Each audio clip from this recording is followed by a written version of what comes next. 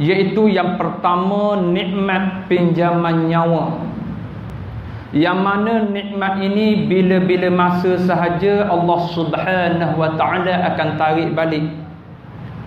Yang kedua nikmat kita bernafas dengan udara Allah Subhanahu wa taala.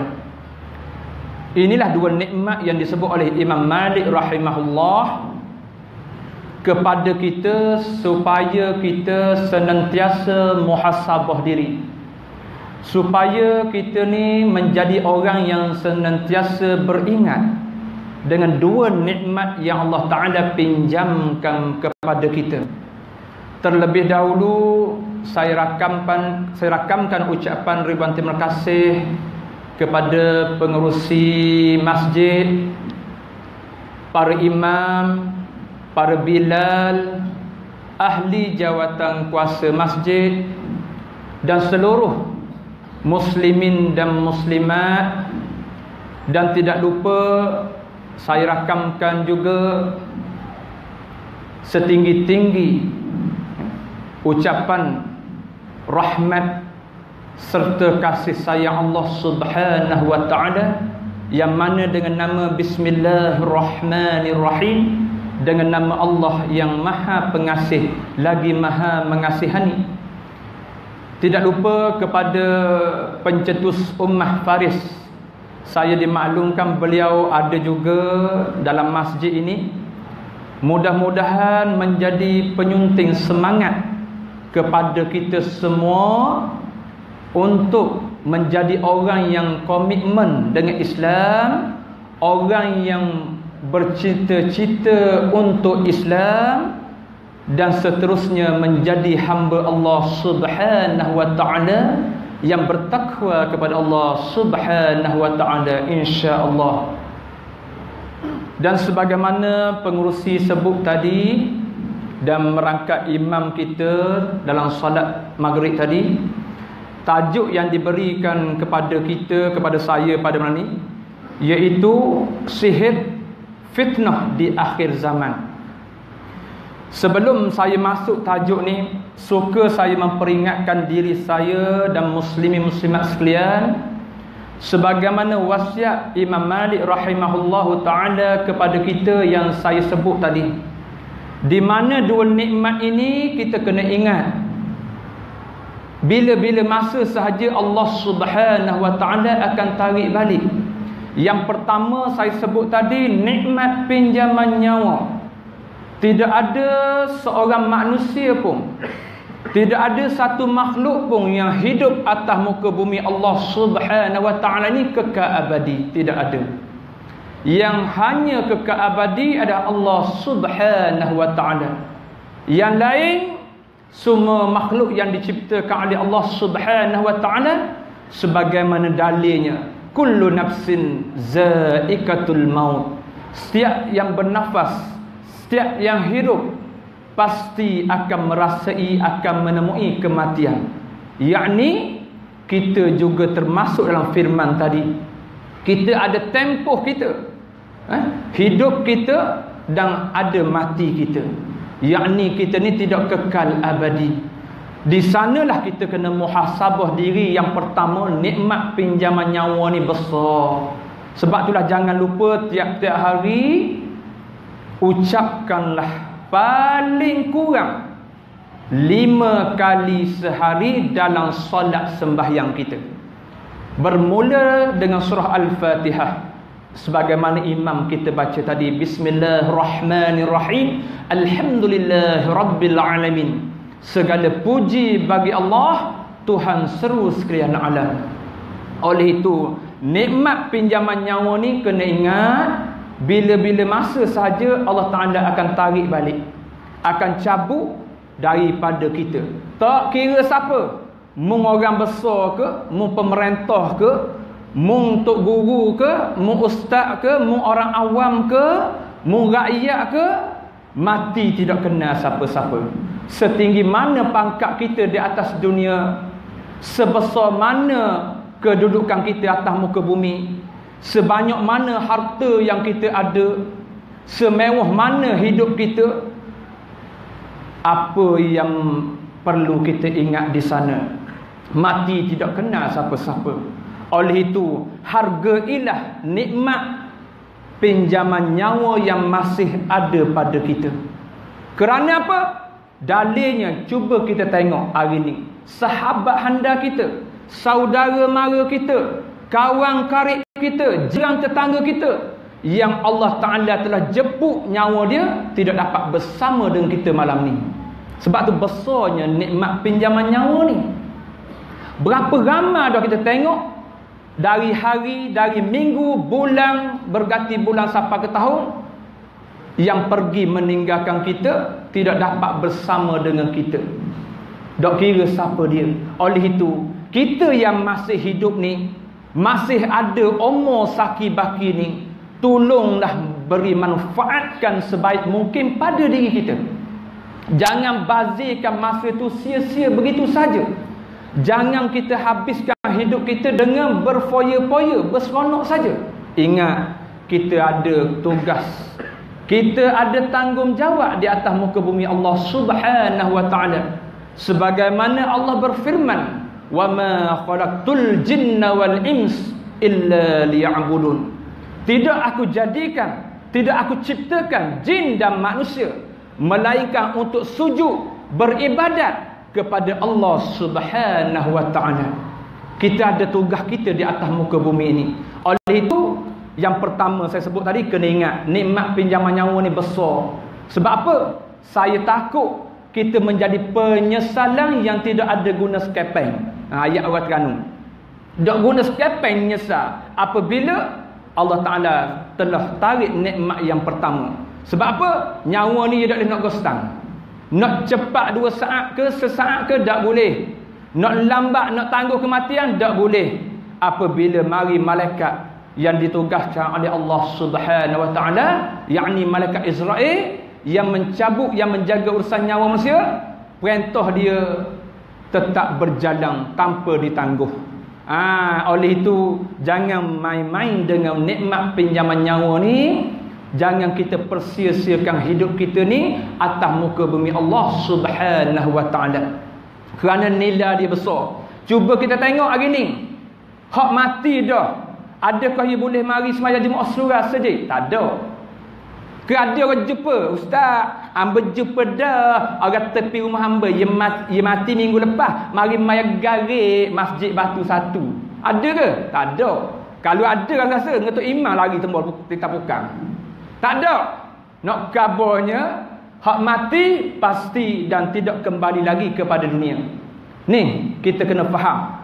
Dan hak mati juga tidak boleh minta dengan Allah Ta'ala. Ya Allah, berilah aku lima minit. Tubik dunia mula nak pergi semayang, uh, semayang garik berjemaah. Tak ada. Ya Allah, beri kau aku pinjam nyawa sekadar dua waktu. Aku nak mayang garik dengan mayang syak berjemaah di masjid. Tak ada. Ingat, hak kembali ke alam barzah, dia tunggu akhirat dah. Tak boleh balik dah ke dunia. Oleh itu, kita hak masih hidup ni, tolong manfaatkan ia sebaik mungkin. Jangan umur hak ada sakit baki ni, kita hidup.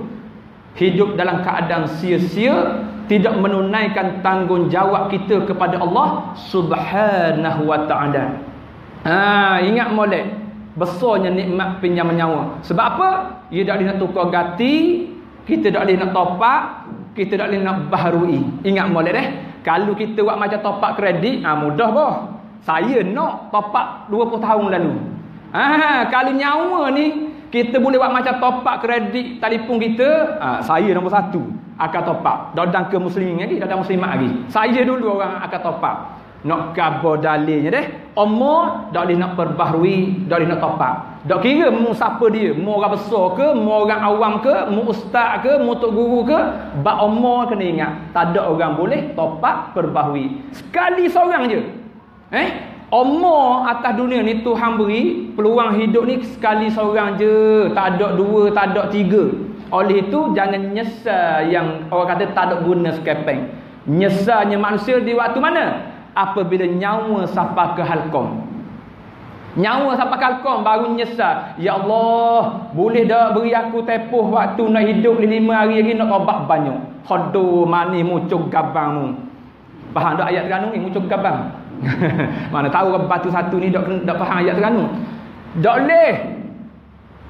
Kita tak boleh minta begitu. Allah tidak akan perkenankan. Dalilnya di mana? Dalilnya tidak diterima taubat seorang hamba, tidak tidak diperkenankan doa seorang hamba apabila nyawa sampai ke halqam. Apabila matahari naik arah barat. Ni dua dalil dia. Ingat molek. Uh, sebab kita banyak tengok hari ni Tai tenak nazak tu baru je doa. Ya Allah, biarlah sembuh derah. Biarlah sihat derah. Aku tobat dah, aku nak pergi sejik tu ni. Aku nak pergi semaya surah, aku nak semaya jemaah semua. Biarlah panjang sikit lagi umur aku. Aku tak ambil dah buat dosa tu ni, aku nak pergi sejik surah nak semaya jemaah. Aduh, manis muncul labimu. Nak kaburnya, tak boleh siapa akan halkah nyawa kita tidak diperkenankan lagi doa seorang hamba. Tidak diperkenan lagi taubat seorang manusia. Ingat molek. Sebab banyak jadi penyesalan di sini. Ada setengah tu Allah Ta'ala uji dulu sakit. Ha? lekau dia naik motor lagi pasar selama ni dia dah ajin jirit surah masjid semayang jemaah. Tapi hari tu Allah uji dia kemalangan. Accident. Dia tepuh lori trailer balok patah kaki kanan patah kaki tangan kiri ya selang taing ambulans bagi hospital sedang molek kena tahan wak. Besi area seranggoh atas kaki. Tangan semi baru ada segun yalu. Senyum seming di doktor taing di atas kaki hospital baru dia doa taala ya Allah aku nazar ya Allah. Kalau aku sembuh aku sehat. Kalau aku boleh tubik hospital derah-derah lepas ni aku nak taubat. Aku nak pergi sejid tiap-tiap waktu semayang. Khodo taimu sakit baru mengingat Allah Ta'ala. Taimu senang tai nikmat Allah Ta'ala beri pinjaman nyawa tekah mu segar. Lalu depan sejid tu bila bang dah zuhur sedangkan dia tu orang yang tidak ada uzur syar'i Waktu lapang banyak, tak ada kerja buat. Lalu depan masjid, tu bila azan Allah sahur. Tu bila ni, dia cerdik juga. Cerdik macam mana? Dia cari macam mana nak terbiah, nak ajak orang mari semayang jemaah. Oh, tu bila kata, ai aku bang zuhur lagi, aku nak bawa lagu hijah. Kata tu bila. Garik karang, aku nak bawa lagu Rabbani. Azam. Ai nak gabung sekali, hijah, nauhang, sikah, rabbani je gabung terus. Niat dia nak suruh orang mari semayang jemaah. Sedang molek buka amplifier, buka speaker, ha, dia pun bang. Niat apa? Nak tarik orang mari sejid surah. Sekali tarik rabbani Hayya 'ala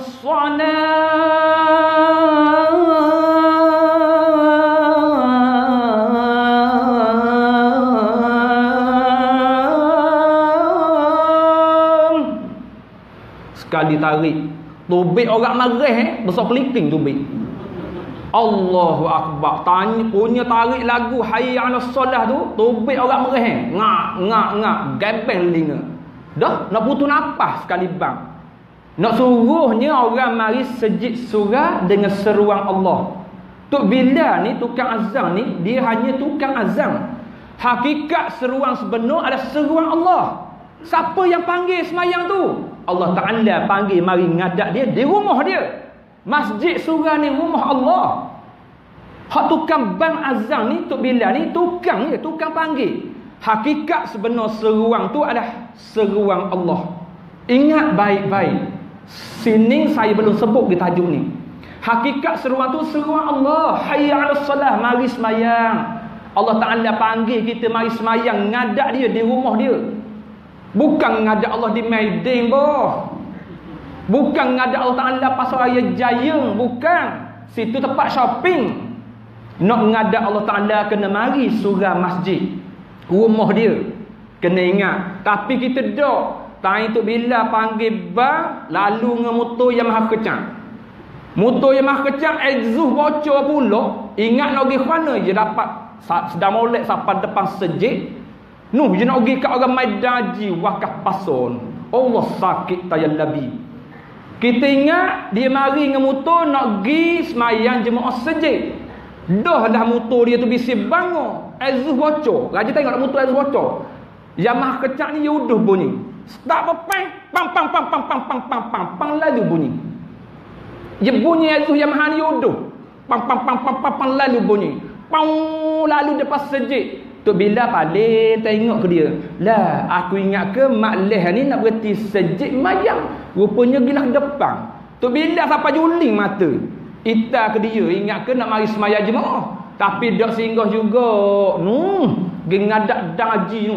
Haji hok boleh naik balik hari. Hodo, nak kabarnya kita ni sombongnya bab yang pertama. Kita ni sombongnya bab yang pertama. Tuhan beri nikmat pinjaman nyawa, hmm, dia hidup dalam keadaan sia-sia, dok hargai peluang tu.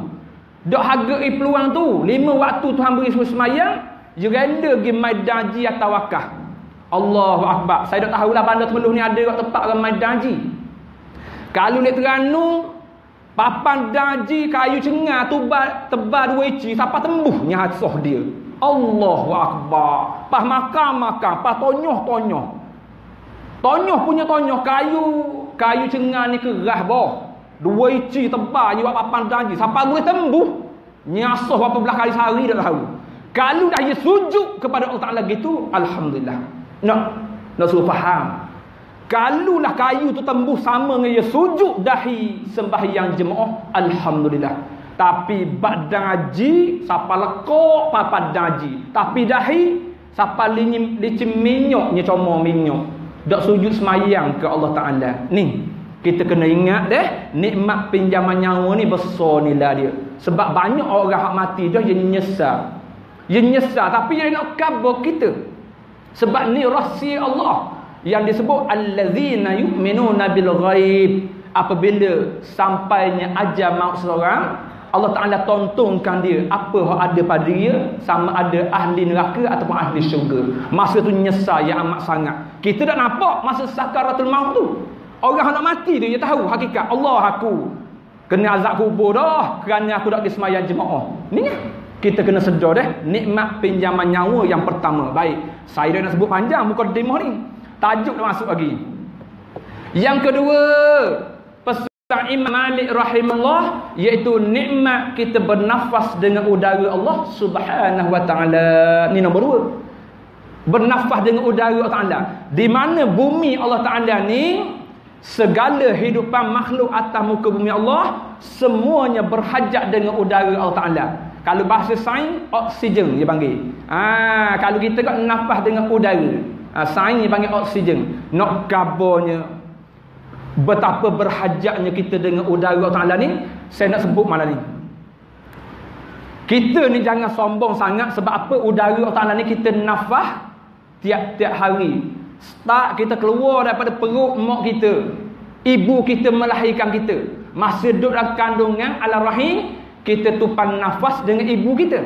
Tapi bila kita keluar daripada rahim, duduk alam dunia masa itulah kita start bernafas dengan udara Allah Subhanahu wa taala dan di sinilah jangan kita lupa akan nikmat nombor dua ni contohnya kita tengok hari ni kita tengok ikan hidup dalam air saya nak sebut contoh biar nampak ni kita berhajat dengan udara Allah ikan hidup dalam air tak kira air laut ke air sungai ke ikan pating ke ikan kembung ke kita ambil ikan tu kita buh dalam air, buh dah supik kat orang, kenal dah supik kat orang, ayat Terengganu. supik air batu tu, supik kat orang. Ha, orang Terengganu panggil supik kat orang. So, ubuh dah supik, ubuh air, kita ikat dengan getah kemas keming. Hidup dah ikan tu. Hidup tak? Mampu kah cokeng? Oh, ayat orang Terengganu pula tu, Bik. Mampu ikan tu. Nak kabarnya, ikan walaupun dalam air, berhajat dengan udara Allah. Kalau ikan air tawar, ia tahan lama sikit lah kadut air, kalau tak ada udara. Tapi kalau ikan laut, tak ada buah oksigen dengan bateri oksigen tu, dua minit mampu terus. Kalau ikan laut. Ikan air tawar ni, ia tahan lama sikit. Ha, nak kabarnya, ikan dalam air pun berhajat dengan udara Allah. Tak ada udara Allah Ta'ala, ikan tak nak hidup. Tu yang pertama. Yang kedua, kita tengok pula hak darat. Tumbuhan, haiwan, binatang, burung hak terbang di udara. Nak royaknya kita biar nampak ni udara ni berhajatnya. Kita zaman budak kita rajin marigat belalang. Takak belalang, rigat belalang. Kita ambil belalang seka, kita ubuh dah supik juga ataupun kita ubuh dalam apa ni botol kaca, kita tutup rapat-rapat. Belalang tadi. Ha, zaman huduk Ajing mai ikat belalang tau. Ajing. Ha, kalau Ajing kita tahu lah. Ikat belalang sekor buah botol tutup rapat dengan tudung. Hidup dah belalang tu. Botol balang kaca tutup rapat. Mapuh juga. Sebab apa? Berhajatnya udara Allah subhanahu wa ta'ala. Tak kira burung pun. Kita ambil bucek cek. Hau cek kali. Kenal tak cek? bucek cek bucek kali. Kita ambil. Kita ubuh dalam balang kaca juga. Tutup rapat. Hidup tak burung tu? Mapuh juga. Sebab tak ada udara. Nak kabar tu binatang atas darat. Baik. Hak Tuhan sebut. Tumbuh-tumbuhan di bukit Gunung Ganang, Bukit Buka. Pohon kayu. Berhajat tak dengan udara Allah? Berhajat juga. Tumbuhan pun berhajat juga dengan udara Allah Ta'ala. Dalilnya di mana? Kita tanam pokok hidroponik ke? Tak kira. Pokok lada ke? Kita buh dalam polybag comel-comel. Lepas tu kita tutup dengan balang kaca. Ha, buh dah polybag comel dah. Tutup lekong dengan balang kaca ataupun plastik putih luxina. Tutup rapat. Mampu. Mampu juga pokok tu. Yang kena terdedah dengan udara dan matahari. Dua tu. Tak ada udara, pokok mampu juga. Dalilnya di mana? Ha, dalil nak kabar. Hari ni cuba perhati. Upuk mana-mana kita tengok upuk sudahlah. Dah tengok pokok besar. Tengok upuk je. Upuk hari ni kita ubuh kemeh ataupun plastik kita letak situ 2 3 minggu. Hidup dah upuk bawah kemeh Kuning lalu jadi. Ah, ha, upuk hak bawah kemeh atau plastik yang kita tudung rapat tak ada udara, tok situ 3 minggu tengah buka kemeh plastik tu. Kuning habis. Dia ikut kapet, dia ikut plastik, dia ikut kemeh tu. Mapuh juga upuk, tak ada udara Allah Taala. Baik, yang terakhir manusia yang saya kata tadi manusia ni berhajat juga dengan udara Allah Subhanahu Wa Taala. Baik kalau tak ada udara Allah Taala boleh hidup tak ni? Atas bumi ni, atas dunia ni. Nyawa lain. Kau salah faham ni. Nyawa lain, udara lain. Nyawa hak mutlak dari Allah Taala, dia boleh cabut bila masa. Udara ni hak dalam bumi. Salah faham ustaz sama je ustaz. Nyawa dengan udara dak.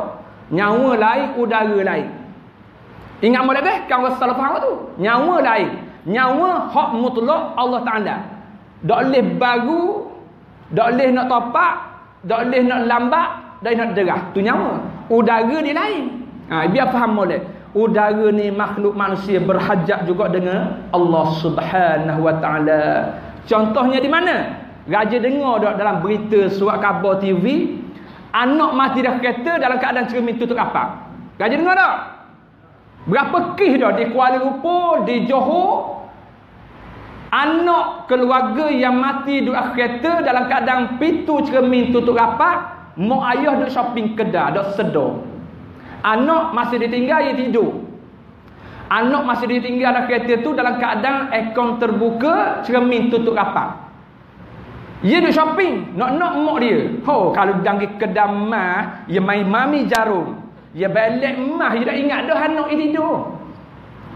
Anak dia tidur kata dia dah ingat dah. Dia balik ke emah ni. Rata gelang pita, gelang tupak, rata pita. Hmm, dia balik ke emah. Dia dah sedar dia tinggal anak dia tidur kereta.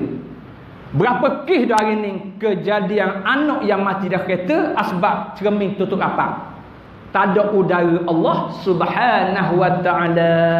Oleh itu, Nampaklah kita di situ kesimpulannya berhajatnya kita dengan udara Allah Subhanahu Wa Taala. Tak ada udara Allah Taala segala makhluk atas muka bumi ini akan mati. Tak kira siapa dia akan mati belaka. Oleh itu balik pada kesimpulan yang saya nak sebut ni janganlah kita sombong dengan Allah Subhanahu Wa Taala. Sebab dua nikmat ni pinjaman belaka. Nikmat nyawa pun pinjaman Nikmat bernafas dengan udara Allah Ta'ala pun pinjaman juga. Bila-bila masa saja Allah Ta'ala akan tarik balik. Jadi sebelum Allah Ta'ala tarik balik dua nikmat ni. Kita jadi jangan orang yang lupa diri. Jangan jadi orang yang sombong kepada Allah Subhanahu Wa Ta'ala. Yang tidak menunaikan tuntutan sunnah Nabi Sallallahu Alaihi Wasallam. Iaitu sembahyang berjemaah. Sembahyang jemaah ni kena ingat deh sebelum saya masuk tajuk ni Okey apa setengah sekejap je. Saya bagi secara panjang. Nak royaknya bab yang saya sebut tadi kita kena ingat semayang jemaah ni saya pesan pada diri saya muslim simak hak mari malam ni apa yang saya nak sebut semayang jemaah ni saya teringat kepada tok guru saya pesan kepada saya. Dia kata peng. Dipanggil peng saya bukan ayah peng ni minta maaf. Kangi sebut ayah peng tu. Uh, saya peng. Muhammad Arifin bukan ayah peng. Hanya dia panggil ayah peng selok buluk malam ni. Dia kata peng kena ingat kalau nak suruh cepat penuh tapawe amalan kita di atas dunia mestilah jaga semaya jemaah. Kerana semaya jemaah ni cepat penuh amalan kita atas dunia. Sebabnya kita bukan orang kaya kita bukan orang harta benda banyak. Hak kita mampu buat semasa kita hidup dengan dua nikmat tadi jaga semaya jemaah. Tunailah semaya jemaah banyak-banyak. Ni pesanan wasiat guru saya sampai sekarang. Betul tak Semaya jemaah ni cepat penuh tapawai amalan kita, kebajikan kita, amal soleh kita. Betul tak? Betul. Dalilnya duduk mana? Kalau kita semayang seorang rumah, satu waktu dapat berapa pahala? Satu. Kalau kita mari sejid, mari surah, kita mayang berjemaah, beriman dengan tu iman kita. Berapa pahala? 27. Cuba bayangkan 27 kali ganda kali dengan 5 waktu. Betul tak? Cepat penuh tapawai amalan kita, amal soleh kita. Ah, cepat penuh. Oleh itu, rebutlah peluang tekoh kita hidup ni sebelum kita mati. Baik, tanya diri kita dulu. Kalau kita kerja nak gaji banyak, nak gaji sikit. Nak banyak, apa anda jawab? Kalau kerja nak gaji banyak, baik. Kalau pahala amal kebajikan nak banyak nak sikit. Nak banyak. Kalau nak banyak, kena buat tak? Kena buat, kena lakukan, kena tunaikan hak kita pada Allah Subhanahu Wa Taala.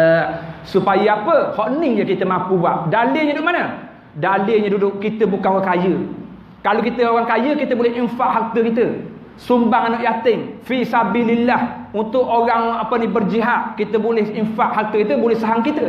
Tapi kita orang susah. Hak mampu kita buat, hak mampu kita tunaikan adalah solat berjemaah. Ingat molek. Hak ni yang ada pada kita taraf orang awam. Taraf orang kebanyakan. Jaga semayang jemaah. Ni ni pesanan wasiat guru saya. Sebab apa? Hak ni kita mampu buat. Hak lain kita tak mampu. Sebab kita tak ada harta benda. Mah tak ada. Pitih rabeng pun cukup makan je. Tanah pun duduk sekakang kera je. Tak apa umur yang ada. Hak lain tak ada tanah. Nak kabar kita ni orang awam. Hak jaga semayang jemaah ni lah hak mampu kita buat. Oleh itu tolong jaga hak ni se. Sebab hak ni adalah amalan kita hak mampu kita laksanakan semasa kita hidup. Dan muslim simak kena faham pahala yang pertama akan dihitung akan dihisap di hadapan Allah Subhanahu wa taala di akhirat lagi ada pahala sembahyang. Pahala mu zakat, mu keluar zakat kediang. Mu gaji kediang, mu sedekah kediang, mu puasa di bulan Ramadan kediang. Tapi pahala sembahyanglah ibadat pertama akan dihitung akan dihisap di yaumil mahsyar di akhirat lagi oleh itu tolong jaga peluang ni deh tolong jaga peluang ni. Sebab hal ni yang ada pada kita. Hak mampu kita tunaikan mampu kita buat sementara kita hidup ni. Ah dah mati dah sakit nepek tika habis. Tak ada benda dah. Sebab tu saya pesan dengan dua perkara nikmat tadi tolong jaga betul-betul. Ah tolong jaga betul-betul. Sebab apa? Saya pernah lalu benda ni Pengalaman saya dan dunia rawatan ni 18 tahun dah. Start umur saya 20. Sekarang 38. 20, 38. 18 tahun. Betul tak? Ha, nak kabarnya macam-macam saya jumpa. Oleh itu, tolong hargai kehidupan ini. Eh, jangan jadi suatu penyesalan. Kita takut. Baik, masuk pada tajuk. Setengah jam kau demo saja. Baik, masuk pada tajuk kita. Eh. Sebagaimana uh, imam kita bagi tahu tadi, sebagaimana tajuk yang diberi kepada saya sihir eh?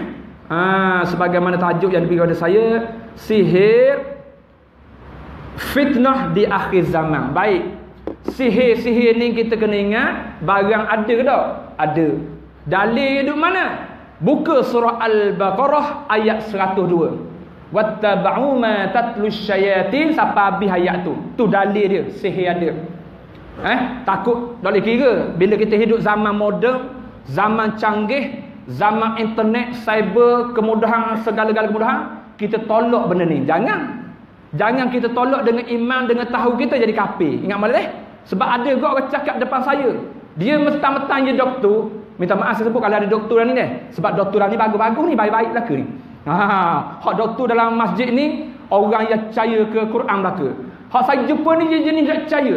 Dia kata, "Ustaz, mana ada zaman moden, zaman canggih, benda mistik, benda tahyul, benda-benda macam ni tak ada lah ustaz." Haduh, mu cakap luwi dengan aku dah. Cakap luar. Ha, kalau orang dia pakai cakap cakap luwi. Cakap luar. Ha. Dia cakap luar dengan kita. Ya tak ada ustaz. Benda benda tahyul mistik, benda-benda kurafat ni tak ada lah mana. Ada zaman canggih, zaman moden sekarang ni.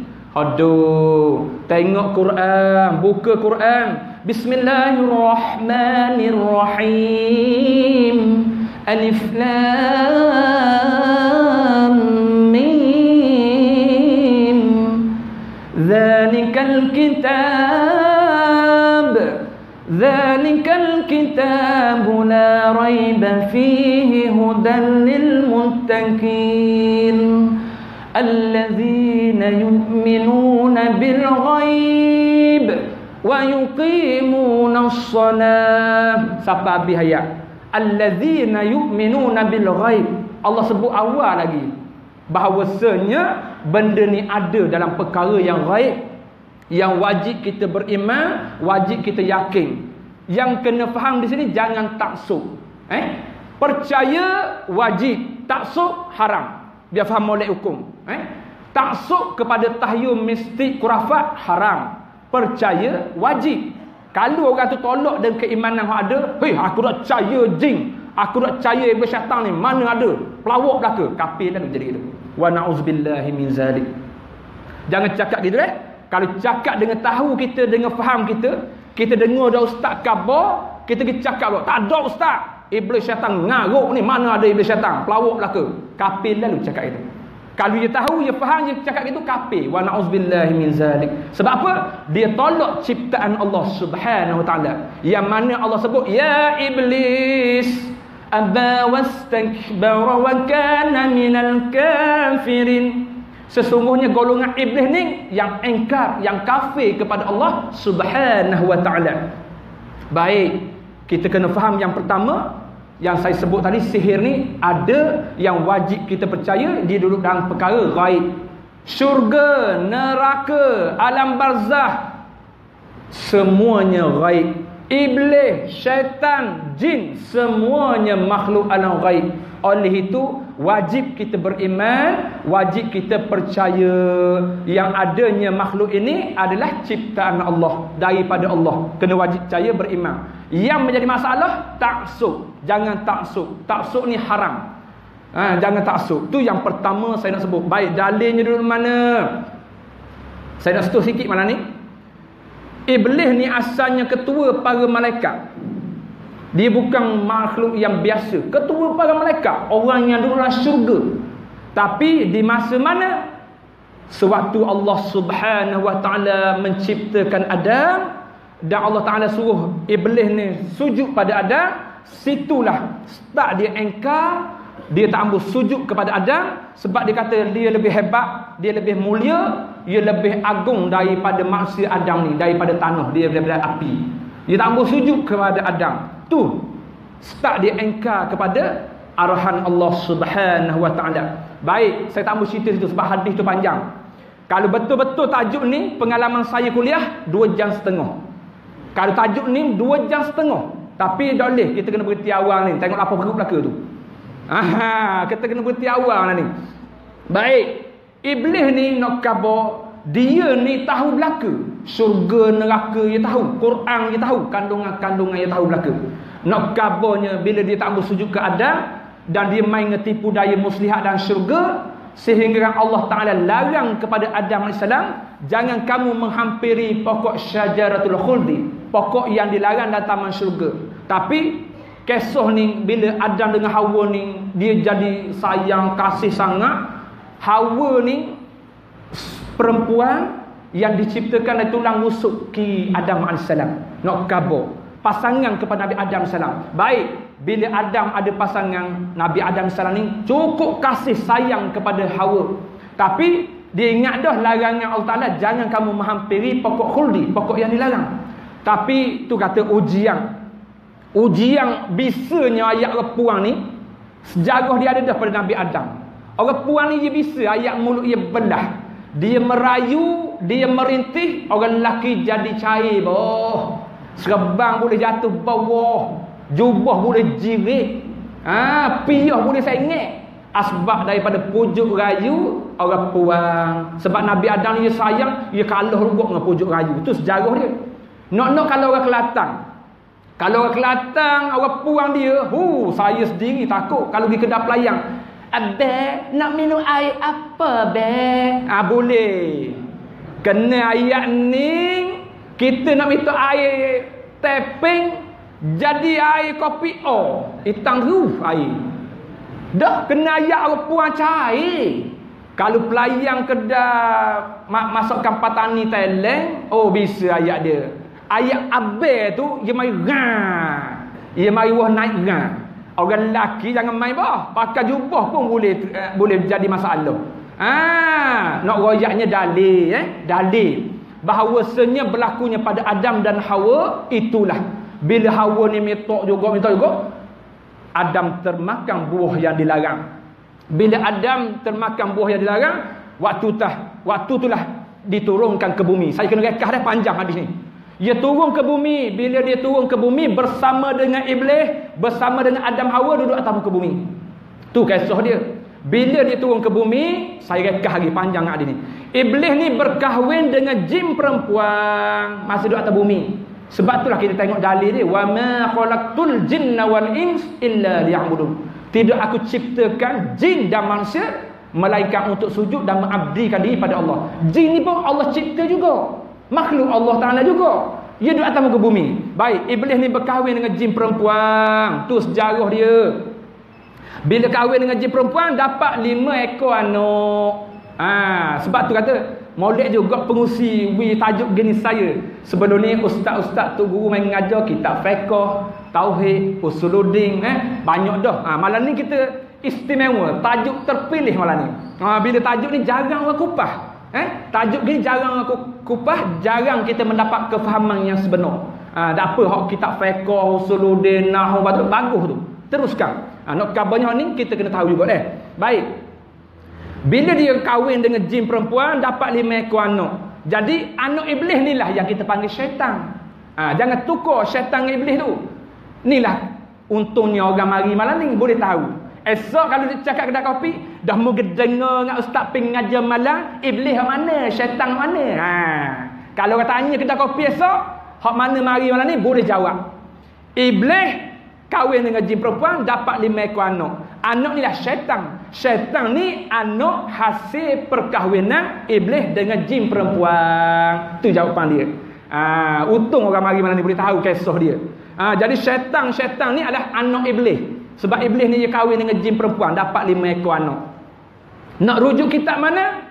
Rujuk kitab Muwatta, eh? Ataupun sirah ah, apa ni sirah iblis. Ah, boleh tengok situ. Ah, kalau tengok kitab tu dia dia baca habis sejarah dia, dia cerita habis daripada atas sejarah Nabi Adam sampai ke ke bumi. Ah, sirah iblis. Ah, nak khabar, nak, nak wujud mana tengok situ deh. Ah, baik.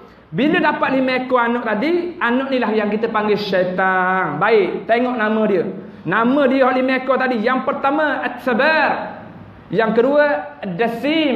Yang ketiga Al-A'wa. Yang ketiga yang keempat Al-Maswah. Yang kelima Zal-Nabur. Sekali lagi saya ulang.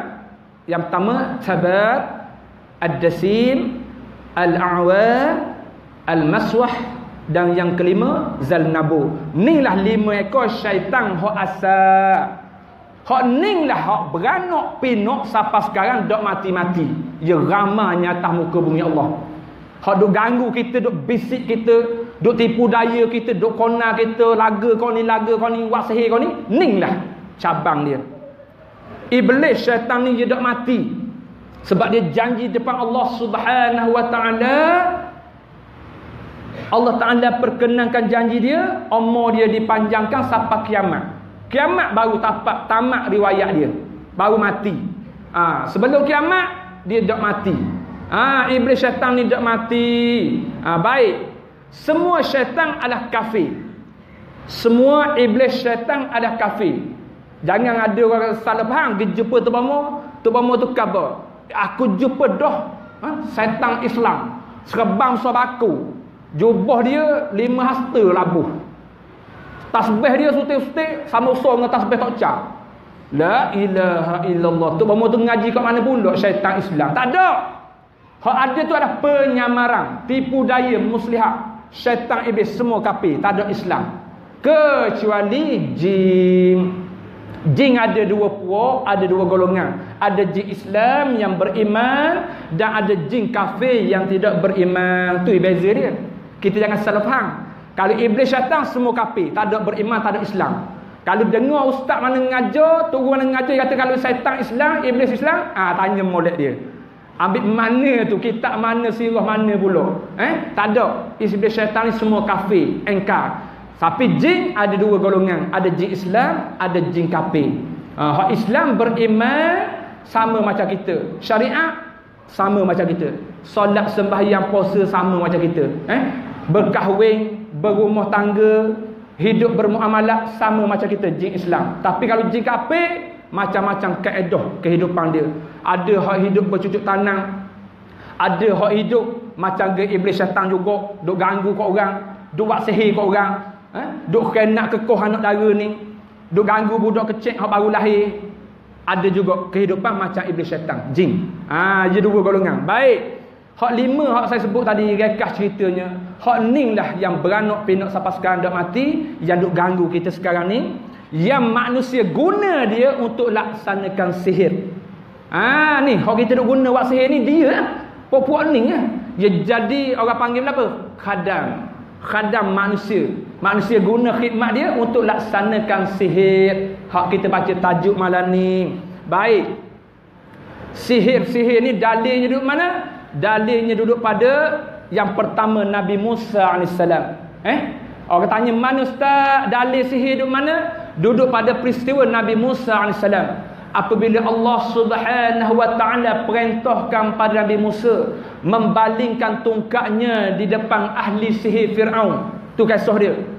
Fir'aun ni raja yang sombong takbur, yang pera ahli sihir yang banyak yang hebat. Fir'aun. Sebab apa dia pera dia, dia bela ahli sihir ni? Sebab nak tarik manusia tu supaya ikut dia. Dia main dengan sihir. Fir'aun ni. Dia melakukan sihir supaya orang taksub pada dia. Ni Fir'aun. Fir'aun ni. Dia mainkan jalan sihir ni supaya orang ni jadi terpegung. Jadi mentakjub kepada Fir'aun. Ni sejarah hasar Fir'aun dengan ahli sihir. Tapi apabila Allah subhanahu wa ta'ala perintahkan pada Nabi Musa balingkan tungkakmu di depan ahli sihir Fir'aun. Lalu tukak Nabi Musa AS Allah ta'ala tunjuk jadi ular yang besar. Bila jadi ular yang besar makan habis ular ahli sihir Fir'aun. Disebut dalam apa ni surah Ibrahim sebahagian ahli sihir Fir'aun ni lari di tapukan takut. Sebab tengok ular Nabi Musa ni besar sangat Sebahagiannya tunggu sampai selesai terus dapat hidayah Taala beriman dengan Nabi Musa AS. Allahu Akbar. Tu sejarah sihir ada dah zaman Nabi Musa. Baik, dalil yang kedua di mana sihir? Berlakunya kepada junjungan besar kita Nabi Muhammad sallallahu alaihi wasallam. Nabi Muhammad sallallahu alaihi wasallam pernah disihir. Siapa yang sihir dia? Seorang Yahudi. Nama dia Labib bin Al-Asam. Tukang sihir ni orang Yahudi. Nama dia Labib bin Al-Asam. Siapa yang sebut? Isteri kepada Rasulullah sallallahu alaihi wasallam, Sayyidatina Aisyah. Ah, Anas bin Malik dan dari Aisyah bahawa Labib bin Al-Asam seorang Yahudi telah menyihir Rasulullah sallallahu alaihi wasallam dalam perigi, dalam laga. Ah, ayat awal Terengganu dia panggil air laga, telaga. Kalau orang luar ni panggil perigi. Tu kisahnya. Dan di sanalah dalilnya Allah Subhanahu wa taala turunnya surah An-Nas. Sebab nabi kita kena sihir. Turunnya surah An-Nas yang kita baca tiga kul tu. Bismillahirrahmanirrahim. Qul a'udzu birabbin nas, malikin nas, ilahin nas, min syarril waswasil khannas alladhi yuwaswisu fi sudurin nas minal jinnati wan nas. Sadaqallahu azim. Ayat tu turun sempena Nabi kita Muhammad sallallahu alaihi wasallam disihir oleh Labid bin Al-Asam. Lalu Jibril alaihissalam adalah adalah makhluk Allah yang merawat yang meruqyahkan Nabi Muhammad sallallahu alaihi wasallam. Jibril pergi rawat dia. Jibril pergi baca ruqyah. Bila Jibril baca ruqyah, satu persatu terbuka ikatan sihir tu daripada tubuh badan Rasulullah sallallahu alaihi wasallam. Ha, nak kabar Nabi kita sendiri pun pernah kena sihir. Menunjukkan sihir ni ada. Dan balik pada tajuk kita malam ni zaman kita ada tak sihir? Koh banyak bukan koh sikit. Zaman nabi berlaku dah zaman kita ni. Saya jawab deh koh banyak pengalaman saya 18 tahun dalam dunia rawatan 5 tahun saya awal saya terlibat berobat rawatan dok ramai mari pondok saya sihir santau 5 tahun awal 5 tahun pertengahan ah mula dah masuk dah buku dah sistem appointment temu janji dah. 8 tahun akhir ni dak muat buku dah saya. Dak muat buku. Sampai hok bulan depan, hok bulan depan ni penuh dah temu janji saya. Kis sihir. Allahu akbar. Sebab tu saya kata, kau akhir zaman kau banyak orang main jalan sihir. Kau banyak orang main kau ni, kau jahil manusia ni. Kau dekat nak kiamat, kau jadi punuh. Kau dekat nak mati, Koho jadi rosak binasa manusia akhir zaman. Dalilnya di mana? Buka kitab hadis 40 akhir zaman. Jumpa lalu situ. Buka situ jumpa lalu. 40 hadis akhir zaman. Iaitu salah satunya akan zahir penyakit kaum Nabi Musa sebelum kiamat. Iaitu manusia menggunakan jalan sihir di akhir zaman. Wa na'uzbillahi min zalik. Manusia main sihir akhir zaman. Alasan dia kata apa? Ustaz, kalau suruh mai ajak lambat. Ha. Ustaz, amba suruh 40 tu sejik tu. Semayang ajak. Dok jadi pun, dok nurut pun. Ha. Ni pucuk main ngasih. Dok reti sabar. Ia dah nak sabar dengan kaedah hak Islam hukum syarak aja. Ia dak tidak sabar. Allah Ustaz weh, amba suruh tok bu pondok, 40 te pondok dah mai ajak untuk nak suruh anak amba ni jadi molek. Dok jadi juga Ustaz weh. Hmm, dia cakap dah. Tiba-tiba ada mari bisikkan. Mari bisikkan. Mari bayangan. Mari hasutan. Mari tipu daya iblis syaitan jin sehingga kan kita guna shortcut. Jalan pitah sebab nak capai hajat. Ni akhir zaman. Dia nak capai hajat derah, main shortcut jalan pitah. Sebab dalilnya dia kata semayang hajat lambat. Doa ni Tuhan lambat makbul. Ah, ha, tok guru buat main hajat ni lambat jadi, lambat nurut. Ah, yang tak boleh ustaz, tak boleh main kau ni, kena main kau jalan lain. Astaghfirullahalazim. Dia dah faham hukum. Di sinilah puncanya manusia terlibat dengan sihir di akhir zaman ni. Ah, jadi terlibat dengan sihir akhir zaman. Sebab tak faham kaedah hukum syarak. Ha, dia kata susah ustaz main ngejalan Quran. Susah ustaz main ngedoa-doa Nabi, doa-doa haikal, ruqyah, mazir, payah ustaz. Dak jadi dak nurut. Kok jalan ni tak apa ustaz mudah jadi garanti. Jumpa tu mana? Tu bomo siang ustaz. Kok minarai. Oh, cakap siang lalu. Nu, jumpa tu bomo Thailand tu. Hok kain kuning orang, bukan orang ni. Orang tu Sami. Dia jumpa Tok Sami tu. Sebab Tok Sami dia kata boleh buat garanti jadi. 3000 kasih mati. Ni pengalaman saya. Minta maaf saya sebut eh. Tok Bomo, Tok Sami di uh, Thailand tu, pengalaman saya dulu belajar sana. Ada seorang Tok Sami tu, dia garanti tu. Mu nak suruh aku agana. Minta maaf eh, saya cakap kau teranu dah. Kan kalau cakap kau siang kan tak faham dah. Ha. Dia kata mu nak suruh aku agana. Kalau nak suruh mati, 3,000 upah. Ni pengalaman saya. Nak suruh sakit nepek tika, 2,000. Nak suruh sakit, nak suruh siapa hajat saja, 800 ya. Paling murah 800 ya. Nak suruh siapa hajat, nak suruh boleh benda sesuatu hak ye nak. Lapan tu ya. Nak suruh sakit, nepek tika 2000. Nak suruh sakit sampai bawa umur mati 3000. Sihir pakai jarum anak patung, Allahu akbar. Bawa umur saya. Ni pengalaman saya. Jangan terlibat dengan sihir gini. Sebab pengalaman saya ni saya jumpa belaka kategori ni. Pernah saya cabur Tok Sami di apa ni Thailand. Saya kata apa? Tok Sami, saya ni daripada Malaysia. Tok Sami saya tengok orang Malaysia ni mari semua jumpa Tok Sami. Apa Tok Sami buat? Oh itu orang Malaysia dia tu suruh aku buat ilmu guna-guna nak suruh orang puang ikut dia. Nak suruh kedai ni pelaris, nak suruh hajat dia capa, nak suruh orang tu sakit. Aku buatlah, aku dapat upah. Ha tengok. Orang kafir dia boleh pulus pulus pulus pitih dia. Dia tak ada kira dosa ke pahala ke neraka ke syurga ke dia tak fikir. Hak dia fikir pitih harta benda. Asal boleh pitih, goheklah gostang macam mana pun dia buat belaka. Ni pengalaman saya orang yang terlibat dengan sihir. Jangan main-main. Akhir zaman ni kau banyak orang main jalan ni.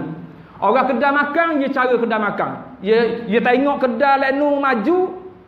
Ai, kedai aku ni dah berapa jadi orang dah masuk kedai. Dia pergi jumpa tu bomo. Tu bomo pun wila minyak dah botol. Minyak pelaris nega. Ho, dia balik gantung kedai dia, dia tak sedar. Hak tu bama wi tu bukan minyak yang dikirimkan berserta dengan khadam jin iblis. Duk tunggu kedai, bila tunggu kedai jadi masalah. Ha, nak iblis syaitan ni tipu daya. Mereka awam molek lah. Ha, bila tengah, dia poleng kita balik. Dia tipu balik. Masalahnya, pada orang nega. Hak jiran deki orang ni kata orang ni. Orang ni tuduh orang ni. Habis. Punah ranah balas sesama Islam kerana sihir. Ah tu bahagian kedai. Patu hak jenis kita pula, hak sakit hati kau orang. Dia dak pergi minta maaf. Dia dak pakai betul. Dia dak dia dak dia dak pakai kata orang dengan kaedah Islam. Ha? berbincang sesuai dengan cara baik tak ada. Bila balas sakit hati sihir lalu saing tu astagfirullahalazim. Sepatutnya kita orang Islam bila bala ada kemusykilan, salah faham, bincang molek. Eh, bincang molek selesai dengan cara baik. Tapi do sakit hati bala sikit sihir lalu lah ni. Astaghfirullahalazim. Inilah penyakit akhir zaman yang kita kena sedar, kena betul sekarang. Takut saya bimbang sangat bab gini. Sebab saya aja jumpa ada satu kes tu di Sabah Sarawak. Dia sakit hati budak ni keluarga dia masuk Islam. Nak royak di pengalaman saya. Dia sakit hati keluarga ni masuk Islam. Hak tepi rumah jiran dia pakat sahih. Kata, pela-pela mu masuk agama lain, aku nak suruh mampu mati. Allahu Akbar. Waktu dia mai pondok saya tu, ayah dia mati dah seorang. Kena sihir. Tapi masa mai tu, mak dia dengan adik dia lelaki, dengan anak-anak dia. Mai pondok saya. Saya tanya dia, ayah dah meninggal. Tapi saya nak berobat yang masih ada. Saya pun ikhtiar. Saya cuba ikhtiar bantu dia. Tujuh belah batang jarum tubik kat padang dia. Live. Tubik direct terus terang. Tak ada raih-raih tubik. Saya terik sebasar batang. Ya Allah. Wa na'udzubillahi min zalik. Saya kata, Ya Allah, kenapa siapa tak ning orang sakit hati, marah dia masuk Islam. Siapa sehir nak suruh mati. Nama dia siapa saya ngapa ini budak ni. Bagus. Sekarang ni hidup belajar pondok. Selepas masuk Islam, dia asal Kristian. Masuk Islam, sekarang ni hidup belajar pondok di Terengganu. Nama dia Ahmad Zainus Sajidin. Comel nama. Nama Islam dia. Ahmad Zainus Sajidin. Tujuh belah batang tubik jarum kat padang dia. Lepas tubik, separuh mati je. Saya pulih balik. Nak tengok keadaan dia. Wa na'uzubillahi min zalik. Sanggup manusia main jalan sihir ni. Yang kedua saya nak sebut ni. Sihir yang berlaku di akhir zaman ni. Apabila hajat kepada orang tu tak sapa. Ya kira Ya kira mana? Pela-pela dok lek aku, biar ada orang lain dok lek juga. Ha, ya main ayat tu. Ya tu kalau dok lek aku, biar orang lain dok lek juga. Tambah-tambah sekarang ni yang banyak berlaku kisah orang puan. Ya nak orang puan tu, orang puan tu tak budi dia. Bila orang puan tu tak budi dia, dia rasa tercabar maruah dia. Ha, dia rasa aib. Celaka sungguh puan ni. Aku nak dia tak bersetarang kat aku. Aku dia tayang kereta Mercedes dah depan dia. Aku bawa pakai yang mewah-mewah dah nak suruh dia, dia makan ngejah. Dak makan juga ngejah. Hodoh. Tayang kereta mewah nak ngejah puan. Puan tu tak ambuh dia. Bila puan ni tolak lama orang dia. Dia kata sakit hati. Pele-pele mu tak ambuh aku. Aku tutup biar mu dok di belakang orang lain. dia pergi jumpa dengan tuan mak sihir buat kau puan ni astagfirullahalazim kes gini banyak sekarang banyak di akhir zaman saya sebut contoh satu je apa yang buat dia upah tu mak tu tu mak tu cocok pada anak patung bila tu mak tu cocok pada anak patung hak puan ni bila ada orang masuk minta dia jadi tambuh patu hak orang tambuh dia nak pula orang tu dia jadi balik kalau hak mari minta tu anak tu guna dia tambuh kalau hak mari minta tu tok lelaki orang dah, dia nak pula kau tu. Ha, dia jadi balik fire kata. Allahu akbar. Kis gini banyak sangat. Sampai tahap bila kena benda sihir gini, kis jodoh ni, kis jodoh, kis rumah tangga, kis suami isteri. Ni akhir zaman ni banyak. Sampai tahap dia gila macam dia orang kata gila ngoyak. Gila bayang macam burung pungguk tunggu bulan. Ha, gitulah. Tunggu tengok juga biar ada nampak mata pun rasa nampak cahaya je. Ni penyakit akhir zaman banyak sangat kes gini. Ada satu kes tu nak khabar pengalaman saya. Kes sabitkan kes ni. Siapa tahap dia kena sihir ni. Dia tak mau tengok orang lain. Dia nak tengok lelaki tu je. Dia nak tengok lelaki tu saja. Astagfirullahaladzim. Saya kata benda apa ni? Kalau dia normal. Ibu bapa dia duduk hari-hari dia. Apa dia nak terima? Tapi kerana sihir menguasai dia. Dia tak nampak pun ibu bapa dia. Dia nampak lelaki tu saja. Apa dia kata masa saya sapa rumah dia tu? Nak pergi kat cepo, nak pergi kat cepo, nak pergi kat cepo. Eh, kita kata nak apa nak pergi kat cepo ni? Rupanya cepo tu nama orang lelaki. Astagfirullahalazim. Nama orang lelaki tu cepo. Dia ulang juga nak pergi kat cepo, nak pergi kat cepo. Kita pening nak baca ruqyah. Benda apa lah budak puan ni sebut? Rupa-rupanya nama lelaki tu Hak yang gila-gila tu nama lelaki tu. Saya ruqyah dia, nampak jawapan. Rupa-rupanya dia terkena minyak pengasih. Minyak canua, minyak buluh perindu. Dia pergi beli di kata panjang Kelantan tu, balik lesek di jibat tudung puan ni. Gila terus puan tu nak dia. Siapa nak tak makan nasi kalau tengok muka lelaki tu. Allahu Akbar. Waktu saya berobat merawat dia, dia tendang pintu bilik dia, cabut dua keping papang. Rumah kayu. Kederak iblis jin ada pada dia sihir tu, dia tendang bilik dia dua keping dinding bilik cabut pecah penggal. Faham dia ayat pecah penggal teranu dia? Pecah penggal dua keping papang. Bukan kederak dia tu. Nak kabarnya inilah sihir yang berlaku di akhir zaman. Dan hak paling saya sedih minta maaf saya nak sebut ni.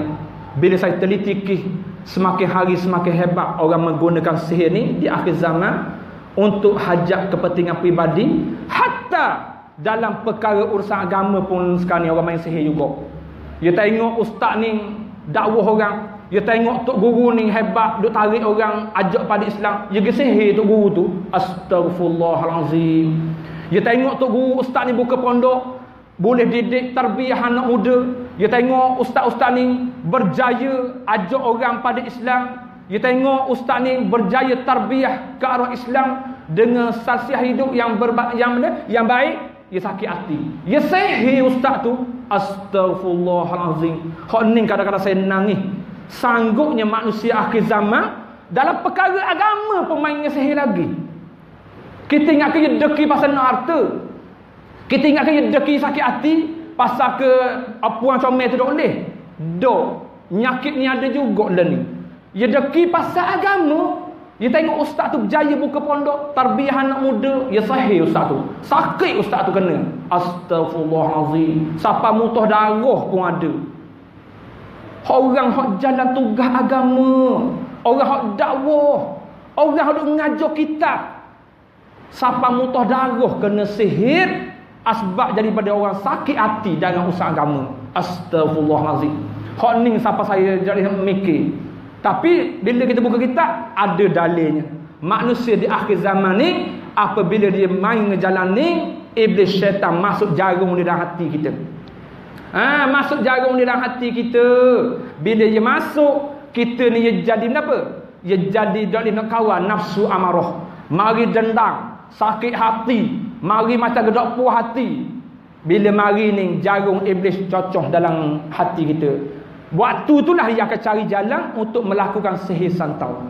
Ah, ha, main jalan sihir, upah orang ni buat gini astagfirullahalazim. Rekah ceritanya nak kabul yang saya sebut yang terakhir tadi. Kita kena ingat Jangan sesekali kita terlibat dengan sihir yang melibatkan urusan agama. Ia jadi tiga kali dosa. Eh, tiga kali dosa. Siapa yang terlibat dengan sihir yang melibatkan agama, agama ingat molek. Yang pertama, diri dia terlibat dengan kurafat, syirik dah. Yang kedua, dia pergi upah untuk bomo orang buat tu, dosa besar dah. Yang ketiga, agama sendiri terlibat siapa jadi punuh ranoh siapa jadi orang dak ada semayang bang siapa jadi dak boleh nak mendirikan apa ni tiang agama siapa dak nak dakwah jadi nombor tiga nombor tiga apa orang tu telah jatuh membunuh Islam tu sendiri menghapuskan Islam tu sendiri ah kita nampak barang kita kisah ustaz hak nyebut Islam kita bunuh kita mampu Islam tu sendiri siapa sebut buka kitab syarah Syekh Dr. Yusuf Qadawi dalam Fiqh Ulumuddin cabang yang kedua Islam di akhir zaman. Buka situ. Jumpa lalu. Syekh Dr. Syekh Dr. Yusuf Qarawi mensyarahkan hadis ni dia kata syirik yang aku paling bimbang di akhir zaman manusia yang terlibat dengan sihir atas urusan agama. Tiga dosa boleh. Dia sendiri nombor tiga menjatuhkan agama tu bila dia pergi sihir ustaz tu. Dia pergi sihir tu guru tu sedangkan tu guru tu bawa Islam. Ustaz ni bawa dakwah Islam, ajak orang balik pada Islam. Kita kisah dia. Bila ustaz tu sakit, tak boleh nak mengajar, tak nak kuliah, dia tanggung dosa nombor tiga. Dia ya, dialah yang menjatuhkan Islam tu. Allahu akbar wa na'udzubillahi min zalik. Oleh itu kita kena sedar dah. Tajuk ni kita kena sedar jangan kita terlibat. Baik, bila kita dah dedahkan bahagian ni, kita tengok tu sihir jalanan dia. Sebab apa ia dikaitkan dengan fitnah akhir zaman? Yang disebut wal fitnatu asyaddu minal khat. Sesungguhnya fitnah itu lebih dahsyat daripada membunuh. Fitnah ni sebenarnya salah satu cabang yang dimainkan oleh iblis syaitan. Syaitan masuk dalam diri manusia supaya kita main dengan jarum fitnah. Baik, di mana hadisnya? Buka hadis 40 akhir zaman. Ha, buka kitab hadis 40 akhir zaman, jumpa lalu. Dalam hadis 40 akhir zaman dia kata apa? Di akhir zaman akan berlaku fitnah yang berleluasa sebelum kiamat. Ini sekarang ni. Ha, buka hadis 40 akhir zaman jumpa lalu. Hadis 40 itu kata akan berlaku di akhir zaman fitnah yang berleluasa di akhir zaman ni. Sekarang ni kita sedang berdepan dengan fitnah ni. Siapa yang main jarum? Iblis syaitan. Siapa yang guna? Manusia. Manusia guna jarum iblis syaitan tu dengan mainan fitnah. Allahu Akbar. Sebab tu hari ni jangan tengok mata zahir saja, kena tengok kok hakikat. Kenapa hari ni Islam balas dengan Islam? Ni, fitnah di akhir zaman ni. Kenapa hari ni orang lawan ulama? Kenapa hari ni orang lawan tok guru aling-aling? Kenapa hari ni orang tolak Quran?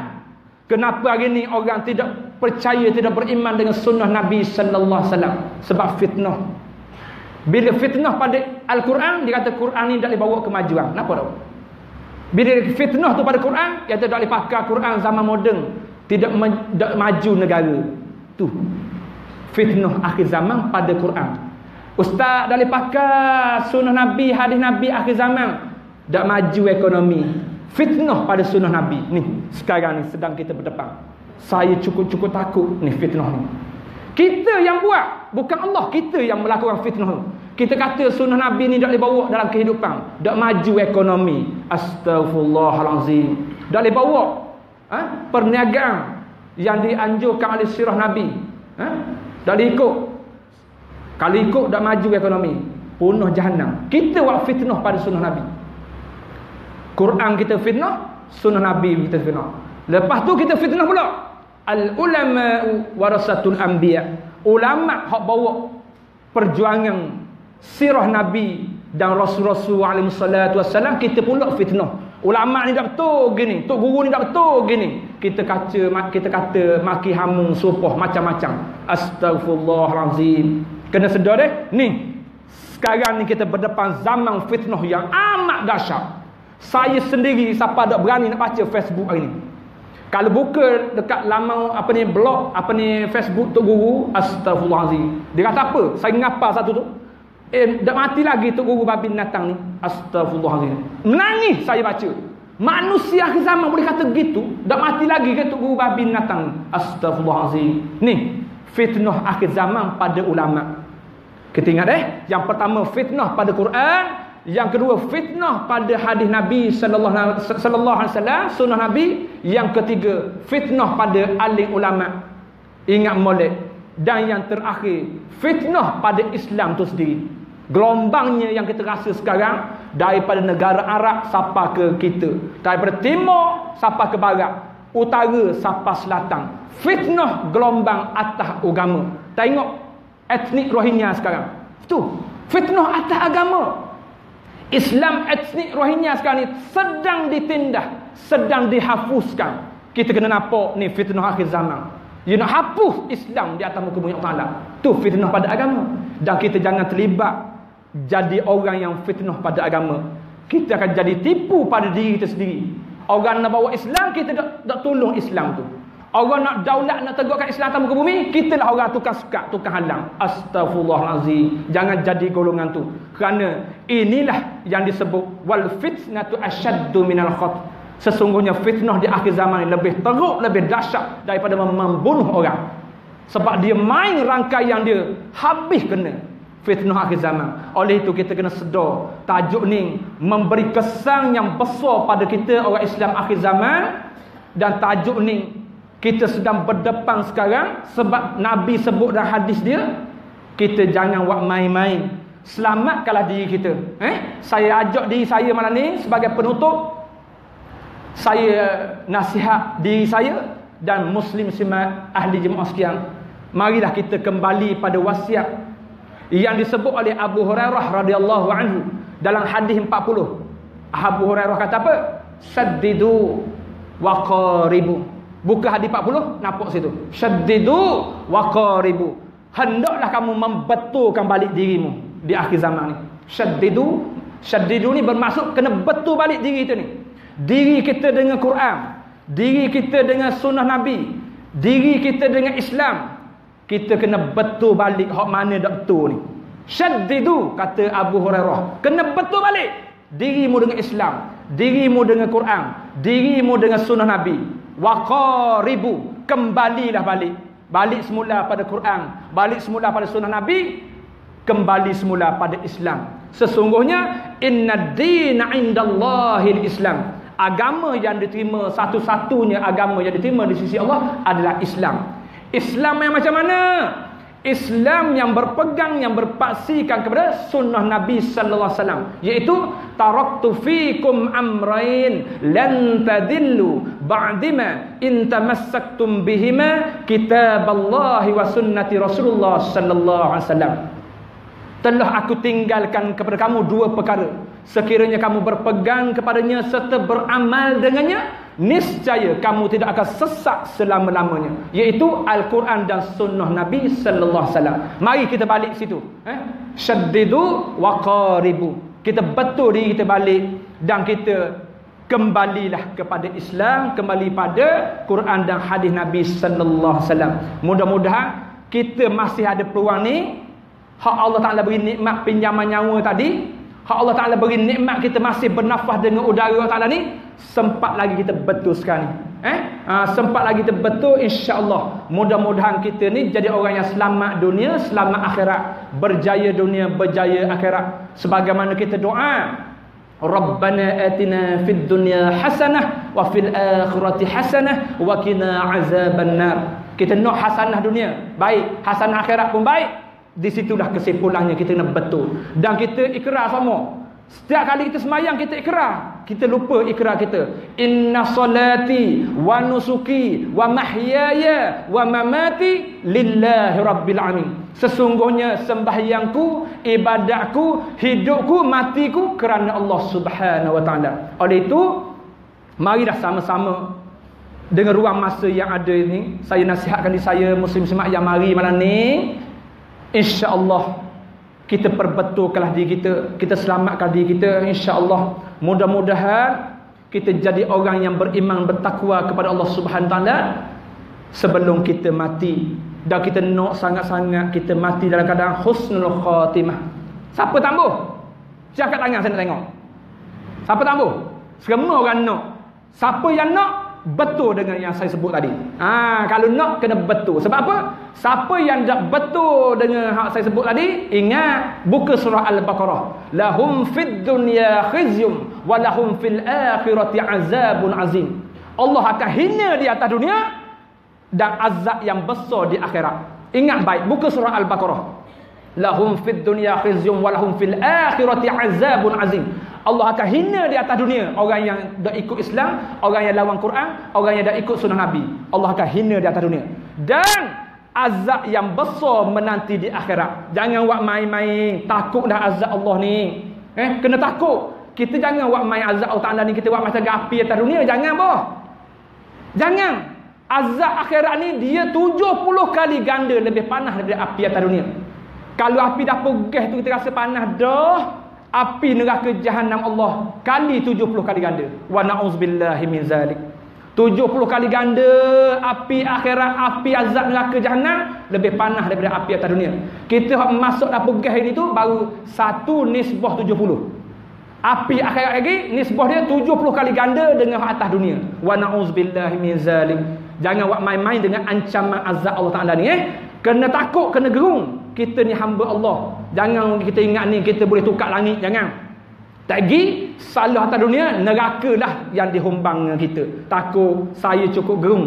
Sebab saya pernah lalu benda gini. Wa na'uzubillahi min zalik. Sampai saya pernah ditunjukkan oleh Allah Ta'ala. Berobat orang yang terlibat orang yang terlibat dengan sihir ni. Saya pernah rawat pesakit yang terlibat dengan syirik. Saya pernah berobat orang yang tak sempat taubat masa hidup. Di sakaratul maut dia Allah Ta'ala tunjuk macam-macam macam-macam. Siapa saya pergi dengan anak buah saya dua tiga empat orang. Allah Ta'ala tunjuk. Dia mati tiga empat hari dah. Tapi mata tu gitu. Mata tu lenggok atas gabung. Rupa-rupanya iblis syaitan jing dah badan dia. Dia mati tiga empat hari dah. Ni pengalaman saya. Bila saya baca ruqyah. Tiba-tiba cakap. Sedangkan anak dia kata. Keluarga dia kata. Ustaz. Ayah saya dua tiga minggu ni tak boleh berkata-kata dah. Titik air zam-zam dengan kapah pun tak masuk dah. Tak nak menelang dah kain dia dah ni kerah. Tak boleh menelang tapi tiba-tiba kena dengan ayat Quran boleh cakap boleh ada. Apa dia kata depan saya? Saya tengok mulut dia eh, naik serawang putih. Kaji tengok tak? Orang tenat orang nazar orang nazar tenat ni dia kering habis. Lidah dia putih langit dia putih serawang. Tu tanda dia tenat nazar tapi tiba-tiba tu tubik suara. Kenapa dia kata saya? Sakit beruk natang memok. Aduh kajuk kita dengar. Ayat orang Terengganu nyupoh. Faham deh? Ayat orang Terengganu nyupoh je gitu lah. Dia tak sama dengan temeluh. Temeluh je baik. Ha, temeluh je bagus. Orang Terengganu je, je keras sikit. Sakit, beruk, natang, mekmok. Hodoh. Ayat orang Terengganu. Bila saya kena ayat tu, kejut saya. Hei, bapa bunyi gini ni pelik ni? Rupa-rupanya, untuk makluman muslim-muslimat, suara bunyi tadi bukan suara dia. Suara iblis syaitan dalam badan dia. Allahu Akbar wa na'uzubillahi min zalik. Siapalah rekas cerita. Saya balik ke pondok saya anak yang telefon. Ustaz, tolong mari ustaz. Urus jenazah ayah saya. Saya pergi pula lepas merawat. Siapa di tempat dia tu? Apabila jenazah di letak depan soft surah. Eh, depan surah ni jenazah dia. Keluar air warna merah daripada kandang. Allahu Akbar. Saya ingat sampai sekarang nak lupa keluar daripada keranda air warna merah. Air darah ikan buruk gitu. Raja tengok dah ikan buruk? Dia keluar air merah. Keluar di depan. Bayangkanlah. Saya arahkan jemaah ambil air koloh cepat-cepat basuh. Jadi fitnah. Orang akan cakap apa mayat itu air merah kok keranda. Allahu Akbar. Waktu tu yang mengimamkan solat jenazah tu Ustaz Khalid Abdul Hadi. Dia jadi imam. Saya duduk belakang masa tu. Minta maaf. Ni pengalaman saya saya nak suruh insaf sedar jangan jadi gini saya takut bila keluar tu basuh saya arahkan basuh saya duduk sah belakang Alhamdulillah selesai basuh air darah tu tiba-tiba orang daripada kubur berlari Ustaz, Ustaz, Ustaz. Saya kata apa pula ni berlari daripada kubur ni. Rupa-rupanya. Hak mari jumpa saya tu Ustaz. Air keluar daripada liang lahat. Mata air keluar dari lubang kubur. Astaghfirullahalazim. Ni Allah tunjuk saya. Bila air keluar dari lubang kubur, saya kata cuba cari air enjin air. Alhamdulillah jemaah surah tu sempat cari dua biji enjin air. Seduk. Seduk air daripada lubang kubur keluar tu baik. Nak kabur ke muslim. Air yang keluar diseduk sama derah dengan air keluar daripada perut bumi. Hak tu saya nak mikir. Seduk bau dua te. Injin air. Tubik kau atas darat. Air mata air daripada perut bumi laju lagi. Sehingga saya kata kena turun segera tak boleh main dah. Turunkan kerana ni tak boleh tangguh. Kalau tangguh saya tak tahu apa nak jadi. Turun dalam keadaan air dah kering pun. Lepas tu siap tanah, saya suruh Ustaz Khalid bimbingkan urusan doa tu. Nak kabarnya di sana, jangan kita terlibat dengan syirik. Jangan kita terlibat dengan sihir. Jangan kita terlibat, kita ni menzalimi orang masih hidup. Jangan terlibat dengan benda-benda kurafat. Jangan kita ni terlibat dengan unsur-unsur fitnah. Yang terlibat dengan dosa sesama manusia, kita tak minta maaf. Masih hidup. Ha, masih hidup lagi minta maaf. Mati dah kadang gitu, punah jahanam habis. Wa na'udzubillahi min zalik. Dan kita paling takut bila azab di akhirat. Jangan buat main-main api neraka jahanam ni panas 70 kali ganda. Kita dapur gas pun dia akan panas tu. Eh? Penutup saya nak sebut ni. Api dapur ni, api gas dengan api neraka ni kena ingat eh sebagai penutup seminit. Hari ni kalau kita diuji nak masuk eh kita guna dapur gas betul tak? Betul eh? Ada kau orang guna dapur kayu ni? Tak ada dah. Semua pakai dapur gas ke tak? Ha, karun. Baik, nak kabarnya seminit saya nak ambil masa. Suatu peristiwa saya nak cerita di sini. Tentang beza api neraka dengan api ni. Dapur gas kita masuk berlaku.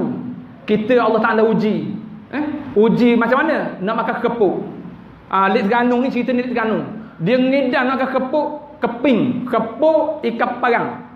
Bila dia ngidam akan kepuk ni, kebiasaannya orang puang lah ngidam. Tapi hari tu Allah tunjuk. Allah tunjuk tu lelaki ngidam. Dia balik air. Tu lelaki ngidam akan kepuk.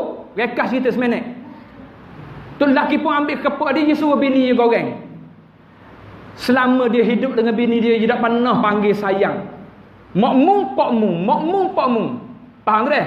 Makmum, tolong hidang nasi. Makmum, tolong air aku secawarang. Makmum semua zaman dia hidup tapi hari tu wak pada ngedang lajuk dia panggil bini dia ayang ayang ayang tolonglah goreng kepuk kabang ho bini dia dah 20 tahun nikah dia panggil makmum hari tu suami dia panggil ayang bila panggil ayang dia mai ra dalam ho dia mai gelombang dalam ra mari bila dia mai gelombang ra ni dia jadi wakil jadi lah dah kena panggil lah sayang jangan main dah dia jadi naik ra ah dia pun ambil kepuk hak suami dia tadi, pergi dapur, lepang buka dapur gas. Rapat je besar dapur gas. Siapa kalau boleh pulah-pulah lagi dapur gas. Tapi rapat dah.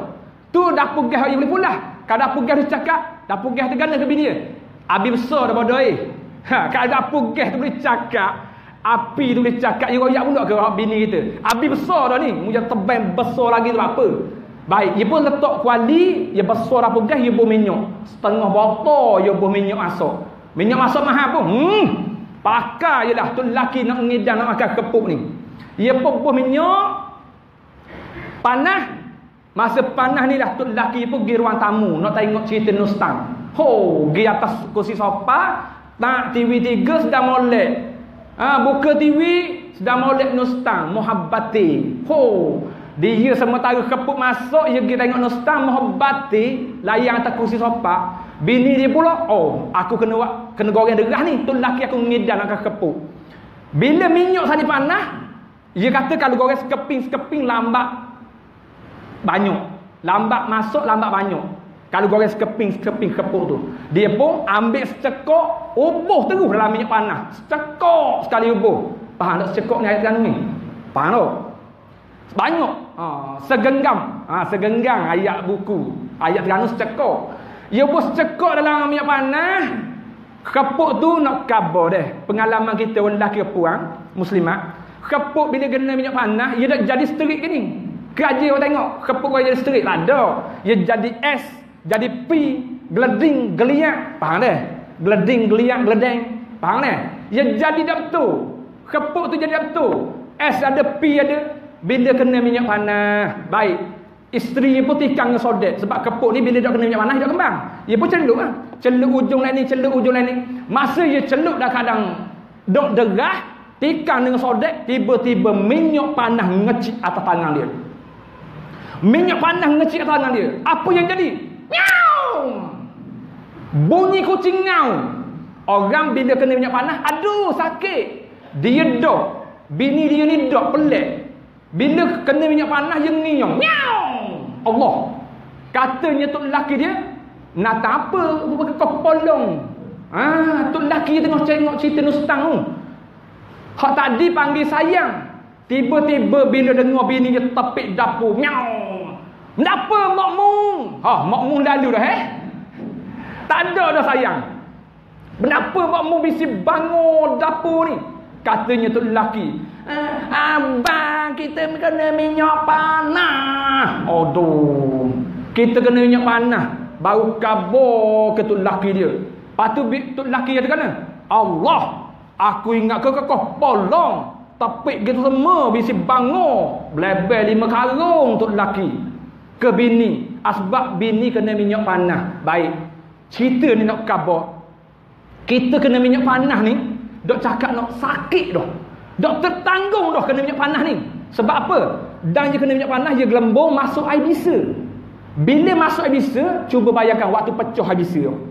Air bisa yang gelembung kena exhaust panah air bisi hok kena minyak panas dia gelembung pecah terang ambil semayang nak tengok pedih tu terang kita mandi tengok pedih. Tu Allahu akbar. Pedihnya. Pedihnya sakitnya. Kulit kita kena minyak panas. Baik. Hok kita kena tadi api dapur gas hok kita kena tadi perempuan yang kena tadi baru panas api dapur gas tepik setara tu dah. Cuba bayangkan muslim semua kalau panas api neraka jahanam kayak gitu 70 kali ganda 70 kali ganda wa na'uzubillahi min zalik. Oleh itu, takutlah kita akan azab Allah. Eh? Takutlah kita akan azab Allah insya-Allah. Mudah-mudahan kita jadi orang yang bertaubat kepada Allah Taala. Baca doa, Allahumma innaka afun karimun tuhibbul afwa fa'fu anni ya Allah. Minta ampun selalu tiap-tiap hari tiap-tiap masa. Eh? Sebab kita ni banyak dosa kesalahan pada Allah Taala. Insya-Allah. Saya kira sekadar dululah tazkirah peringatan usrah untuk diri saya muslim semak hak mari malam ni Kali ikut saya, saya nak kubang panjang lagi. Tapi tengok nengung tu lapar perut belaka tu. Kita sambung mula lah pula. Eh? Nampak lapar perut belaka tu, kita sambung mula lah pula. Kita sambung lain masa panjang umur insya-Allah. Cuma saya nak cover di sini. Saya seru di saya muslim simak sekian. Jadilah orang Islam yang betul-betul berpegang kepada sunnah Nabi sallallahu alaihi wasallam, yang pegang Quran, yang pegang hadis Nabi sallallahu alaihi wasallam sebelum kita mati dan kita nak mati itu dalam keadaan husnul khatimah insya-Allah dan jangan lupa daulatkanlah Islam tu sampai kita mati. Jangan tinggal Islam eh? Kita kena mati dengan Islam. Hidup dengan Islam mati pun dengan Islam. Jangan tinggal Islam sampai mati. insya-Allah tu wasiat saya. Apa yang baik itu datangnya daripada Allah Subhanahu taala. Apa yang lemah serta kurang itu daripada diri saya kelemahan saya sendiri. Wassalamualaikum warahmatullahi taala wabarakatuh. Amin. Bismillahirrahmanirrahim الحمد لله رب العالمين والصلاة والسلام على أشرف الأنبياء والمرسلين وعلى آله وصحبه أجمعين. اللهم إنا نسألك رضاك والجنة ونعوذ بك من سخطك والنار اللهم إنك عفو كريم تحب العفاف فاعف عنا يا الله وعن والدينا وعن جميع المسلمين والمسلمات والمؤمن والمؤمنات الأحياء منهم والأموات برحمتك يا أرحم الراحمين ربنا آتنا في الدنيا حسنة وفي الآخرة حسنة وكنا عذاب النار وكنا عذاب النار وكنا عذاب النار استقامة الدين الإسلام استقامة الدين في الإيمان استقامة الدين الإسلام والإيمان في أوله. وصلى الله على سيدنا محمد وعلى اله وصحبه وبارك وسلم والحمد لله رب العالمين والسلام عليكم ورحمه الله تعالى وبركاته insyaallah selepas solat isyak nanti siapa-siapa yang ada hajat untuk nak buat air penerang nanti untuk anak-anak untuk air penyembuh ikhtiar obat dan penawar untuk air